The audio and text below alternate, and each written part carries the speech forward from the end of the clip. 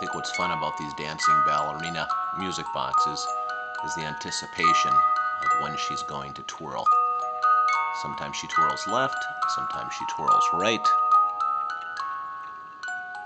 It's easy to just watch and be mesmerized.